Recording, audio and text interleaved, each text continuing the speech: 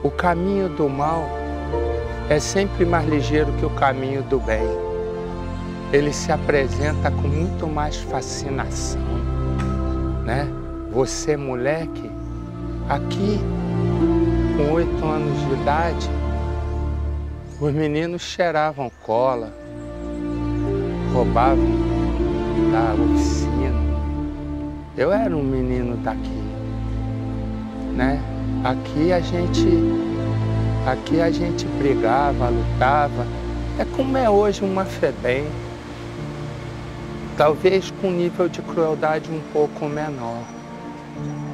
Então, quando eu fui me tornando adolescente, a minha cabeça não era uma cabeça do bem, era uma cabeça que conhecia o caminho do mal. E a linha é muito fininha, muito tênue para você cair para um lado. Você é louco? Você tá, você tá olhando o quê? Cara, sai fora, hein, tio? Sai fora. Sai fora. Me lembro uma briga com um menino chamado Pai do Circo. Ele tinha tocado fogo no circo com todo mundo dentro, no interior.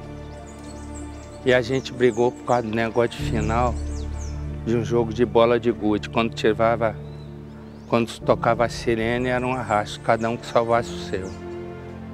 Aí, nesse meio caminho, ele foi. Os garotos não tinham mãe, xingavam a mãe deles e era a briga certa. E aqui tinha briga violenta, tinha briga com estoque. Sabe o que é estoque? Estoque você pega um arame, fininha que tinha muita cerca de arame, você faz fininho e na cabeça você enrola. Ele fica com peso. Ele é bom para você brincar assim e também para apoiar a mão. Aqui tinha muita briga de estoque. E eu briguei com esse menino. A, o, a cerca não existia esses muros. Não existiam esses muros. Era, era ainda arame. E estavam mudando para arame farpado. O arame farpado estava no chão. A gente brigou. A briga foi fácil. O negócio foi curar tudo que a gente rasgou no corpo com arame farpado. Mas isso me ensinou. Me ensinou a encarar a diversidade, me ensinou a não, na hora do obstáculo, não andar para trás. E me ensinou, meu irmão, que o caminho do bem é fascinante. Porque o do mal, vou te contar, você vai para a vala.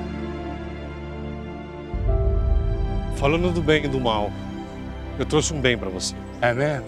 Um bem que vai te fazer bem. Vai me dar uma comidinha, tô com fome. Tá com fome? Não, não, não, não. Tô brincando. Não, não, não. Quem cê, o que, que é que você trouxe de presente para mim?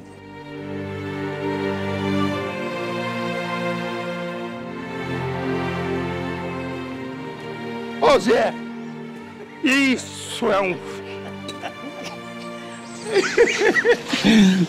oh, meu irmão.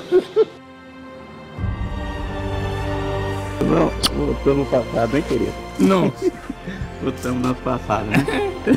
tava falando pra ele que a nossa mãe gostava mais de você do que de mim. Eu falei pra ele. tá? Brigava comigo por causa de você.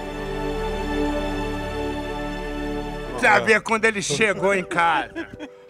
Porque o Zé é irmão de uma moça que trabalhava na casa da minha tia.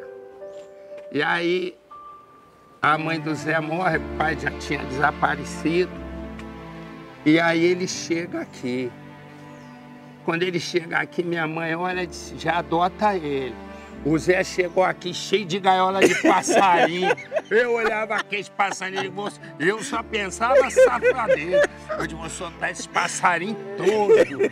E mesmo. Lembra que você chegou cheio? Ele gostar de passarinho. A gente ficava caçando passarinho com, com alçapão e botava.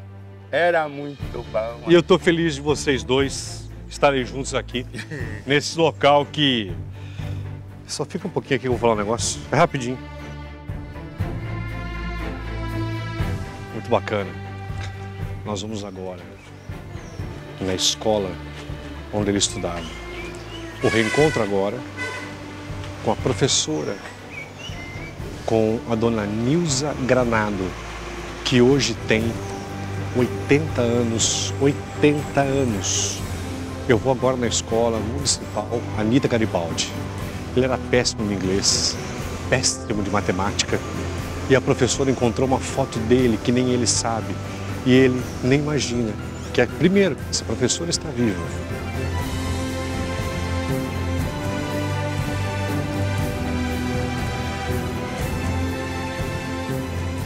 Vamos que agora tem outro lugar. Lugar de quê? Vem comigo, confia. Hoje é comigo aqui. Zé, adorei te conhecer, viu? Obrigado mais uma vez aí, meu irmão? Tá bom? falar mesmo, o seu programa na minha terra, lá onde eu moro, é muito, tem muito Obrigado. Ninguém vê, né? Minha mulher não Ninguém- briga comigo. É, Ah lá, a mulher dele briga. É não, no não. programa, Ninguém vê, ninguém vê, né? Ah, Não ah. é que ninguém vê. Ninguém vê o teu o, Não, não, esse tem negócio. Como é teu nome mesmo? Deixa ele falar. Como é o nome do teu programa? Hã? Hã? Tira a foto aqui minha do Zé. Marcelo, murcha a barriga. E muita barriga.